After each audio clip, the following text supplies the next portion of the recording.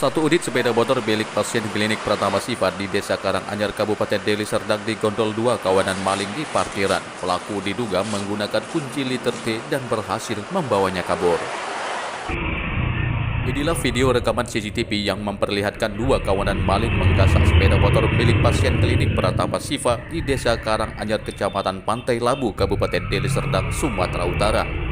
Semula ibu hamil tersebut bersama orang tuanya sedang mengecek kehamilan anaknya yang ingin melahirkan di klinik Pratama Sifa tersebut. Saat ibu hamil dan bersama orang tuanya masuk ke dalam klinik, tidak lama kemudian terlihat dari pengawas kamera CCTV milik klinik tersebut. Dua kawanan maling masuk ke halaman parkiran, sedangkan satu orang yang menggunakan sepeda motor bersiap siaga. Dengan secepat kilat, satu orang kawanan maling tersebut menggunakan kunci liter T membobol sepeda motor milik ibu hamil yang tanpa dikunci stang tersebut dan membawanya kabur dengan mudahnya. Tidak lama kemudian kedua pasien klinik Pratama Sifa hendak pulang ia dapati sepeda motornya telah hilang dan ia meminta kepada pemilik klinik untuk membuka kamera pengawas CCTV dan ia dapati sepeda motornya raib digasak dua orang kawanan maling di parkiran. Juliana berharap sepeda motor yang baru saja lunas yang ia kreditkan selama tiga tahun dapat diketemukan. Ya sepeda motorku hilangnya di sini. Anakku mau melahirkan, mau parkir kereta di sini. Dia masuk. Tiba-tiba mau keluar kereta udah nggak ada.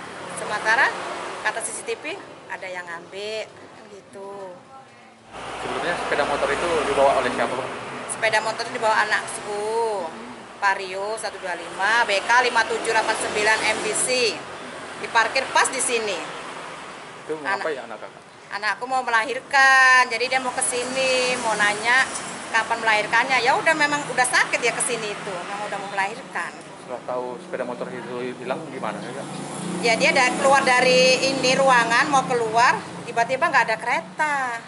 Keretaku nggak ada, keretaku nggak ada yang gitu. Terus setelah tahu itu kak, eh, kalau itu diambil maling itu gimana?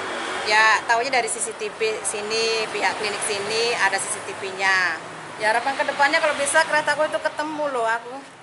Ya udah saya usaha udah lima tahun itu, udah dari kredit sampai lunas, tiba-tiba hilang, cobalah. Atas kejadian ini, pemilik sepeda motor telah membuat laporan ke pihak kepolisian dan berharap kawanan maling dapat segera ditangkap. Dari Deli Serdang, Ahmad Jais memberitakan.